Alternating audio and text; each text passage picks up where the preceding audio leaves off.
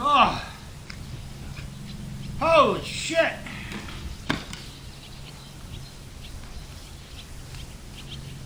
I didn't see that coming. Oh well. Better luck next time. Keep on keeping on.